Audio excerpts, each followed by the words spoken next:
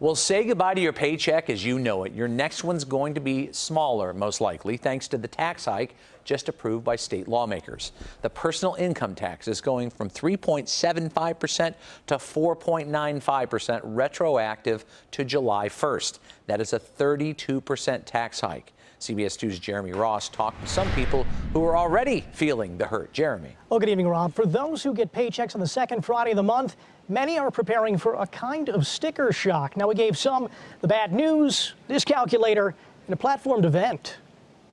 We can continue to struggle. If you walk around Chicago, you might hear a discussion about digits. We were kind of talking about it at my office. A community calculating what they may lose in their next paycheck. I did not realize it was that quick. I want to cry already. It's fairly stressful.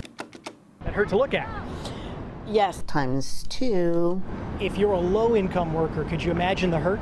Uh, yes. There's uncertainty for all of our clients. Sylvia Ewing says the Center for Economic Progress helped more than 18,000 low income tax filers last year. She describes the average take home for one of her clients. Their check was a thousand. She says because of the new income tax, their next paycheck may be lighter by minus 12, meaning a new take home total of $988 it's not a, a, cause for panic. Ewing says that short term pain can be healed in part through the Earned Income Tax Credit, where qualifying taxpayers can receive a refund. She adds the amounts subtracted eventually add to social services her clients depend on. Students who are counting on MAP grants uh, to go to college, the mental health services, support with daycare. Is your head swirling from the numbers at this point?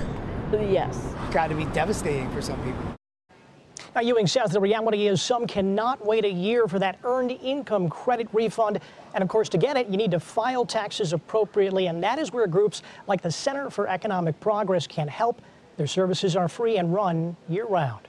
Live in the newsroom, Jeremy Ross, CBS 2 News. Rob. Okay, Jeremy, thank you.